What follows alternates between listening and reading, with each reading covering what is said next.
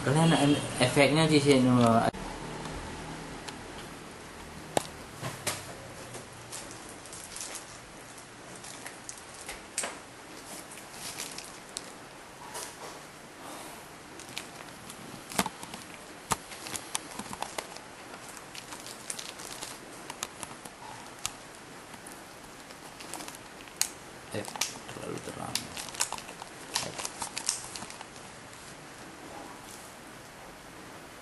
Ya.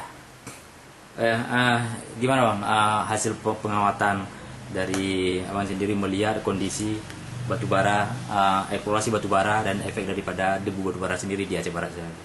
Ya, sebenarnya kalau kita pedomani pada AMDAL eh, PT MIPA yang hari ini ada angkutan dari subkontraktor dari PT MIPA sendiri, baik CK maupun BAMA dan sebagainya, eh, itu kan eh, sebenarnya sudah melampaui batas selama ini. Yang pertama, kalau kita lihat adalah AMDALnya, kapasitas muatan truk itu 6 ton per eh, truk muatannya. Tapi kalau kita perhatikan selama ini bukan 6 ton tetapi melebihi. Bahkan ada yang mencapai 12 ton. Yang kedua, eh, truk itu tidak eh, ditutup dengan terpal sebagaimana dengan tertulis di AMDAL PT MIPA sendiri. Itu tertutup dengan plastik. Kemudian di dalam AMDAL juga tertulis yang bahwa angkutan truk batubara itu sebelum berangkat habis muat itu adanya disiram dinding-dinding supaya bersih. Tetapi ternyatanya di dinding-dinding itu yang lalu lintas batubara, truk batubara itu masih nampak uh, batubara tumpah di dinding nyangkut dan itu sangat membahayakan bagi kesehatan masyarakat. Kemudian di setelah dia bongkar di uh, pelabuhan truk batubara kembali harus dibersihkan sebenarnya dalam AMDAL itu. Itu pun tidak pernah dilakukan pembersihan sehingga berjejerlah sepanjang jalan. Dan ketika ini jatuh di sepanjang jalan dan terjadi eh, terinjak oleh masyarakat baik sepeda motor maupun apa pun yang terinjak atau mobil lain, kendaraan lain dan ini menjadi debu ketika kering inilah yang sangat membahayakan bagi masyarakat. Bisa aja terjadi eh, masyarakat di lingkungan Aceh Barat ini di Kota Melabuh dan sepanjang jalan itu ya jadi tidak sehat. Bahkan sebenarnya truk batubara itu tidak boleh melintasi jalan Manero, tetapi itu pun dilintasi oleh pengemudi truk batubara. Dan di situ banyak kita lihat warung-warung rumah makan masyarakat dan ini sangat tidak baik untuk kesehatan. Ada ancaman yang paling fatal nggak dengan efek daripada debu batubara tersebut? Ya, itu kalau nanti kalau sudah bertahun-tahun itu rusak paru-paru dan bisa batuk-batuk, bisa asma, kemudian eh, lahir anak generasi kita di Aceh Barat ini cebol-cebol nanti akhirnya. Itu dampak dari eh, debu batubara dan sangat membahayakan itu bagi kehidupan masyarakat kita. Dan kita ketahui selama ini terindikasi udara di dalam kota Melabuh ini sudah sangat tercemar dan begitu juga dengan laut. Seharusnya AMDAL sudah punya mereka. Seharusnya ini AMDAL dilakukan dengan baik dan ini tidak pernah dilakukan baik. Sepertinya misalnya yang jual kue di Simpang Rundeng. Itu yang jual kue di Simpang Rundeng itu tanpa ditutup. Seharusnya pihak perusahaan itu adanya diberikan fasilitas penutupan kue-kue itu sehingga yang dikonsumsi oleh masyarakat Aceh Barat ini sangat terganggu untuk kesehatan. Kemudian adanya klinik di dalam AMDAL tersebut adanya klinik itu pun tidak ada misalnya di ujung karang di tempat pelabuhan itu pun tidak ada kita lihat klinik yang untuk pengobatan masyarakat. Kemudian ah, masyarakat pun ah, sangat mengharapkan apa yang sudah tertulis di AMDAL ini betul-betul dilakukan. Ini tidak dilakukan. Seharusnya itu debu-debu batubara yang tumpah di jalan itu seharusnya disedot, diisap dan diamankan tempat pembuangan yang setelah dibuat oleh perusahaan tersebut. Ini tidak disiram, disiram kembali ke pinggir jalan. Pinggir jalan nanti ada lagi cuaca kemarau dan itu menjadi debu. Ini itu sangat bahaya sebenarnya. Sebenarnya nggak boleh disiram. Kalau disiram masuk ke got tercemar got Ya. saluran, masuk ke laut tercemar laut dan ini sangat membahayakan bagi kehidupan. Ini kan selama dua tahun terakhir ini kan banyak perusahaan, ada sekitar lima perusahaan besar yang melakukan eksplorasi tambang.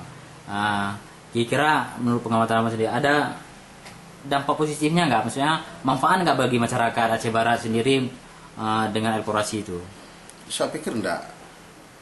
Manfaat ada, tapi sangat kecil sebenarnya. Dikatakan misalnya ada dana CSR, itu tidak maksimal sebenarnya. Pemda Aceh Barat tidak ada ahli untuk mengetahui uh, kadar daripada batu bara yang dibawa maupun di masuk ke, ke Aceh Barat pasok untuk PLTU. Ini dua dua masalah ini sebenarnya. Yang satu bawa keluar, yang satu bawa masuk dan ini sama-sama menjadi masalah di Aceh Barat ini. Tidak ada menguntungkan. Tenaga kerja pun banyak dari luar. Kemudian yang jelas itu akan menjadi perubahan bentang alam. Sungai-sungai akan menjadi kering, yang terutama sungai di Kurung Tujuh, Kecamatan Meruboh itu. Yang jelas itu akan kering nantinya. Itu jadi perubahan bentang alam dan akan kehilangan banyak pekerjaan. Di situ nanti ribuan orang mencari nafkah dengan ikan di Sungai Kurung Tujuh. Tapi Sungai Kurung Tujuh itu akan kering nantinya dan itu kehilangan mata pekerjaan. Kalau kita lihat hari ini kita ditanya pada Menaker, uh, tenaga kerja yang terserap dari Kabupaten Barat sendiri tidak ada sebenarnya, hanya ya sekitar 0,5 persen. Yang lain dari luar semua terserap. Sebenarnya apa yang harus dilakukan dengan kondisi seperti ini?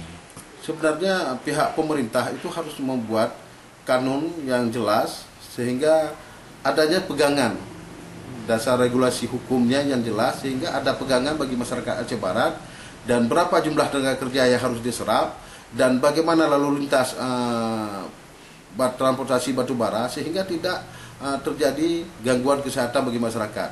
Misalnya dia dari jalan nasional ke jalan Imam Bonjol, jalan Imam Bonjol, jalan Syahkuala, jalan Syahkuala ke jalan Samudra Dua dan ke pelabuhan misalnya. Tetapi banyak truk-truk kita lihat itu melintasi jalan Manero dan jalan Manero sangat padat dengan rumah makan bagi masyarakat dan ini sangat tidak baik sebenarnya terjadi selama ini. Ya.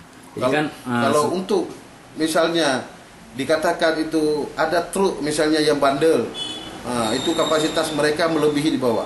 Kalau memang ada nawa itu dari perusahaan yang baik, sebenarnya yang bawa lebih dari 6 ton seperti tulis tertulis di AMDAL itu tidak usah dibayar. Tapi mereka membayar ketika dibawa 12 ton dibayar, ketika dibawa 13 ton pun dibayar. Berarti kan sama mereka melakukan pembayaran.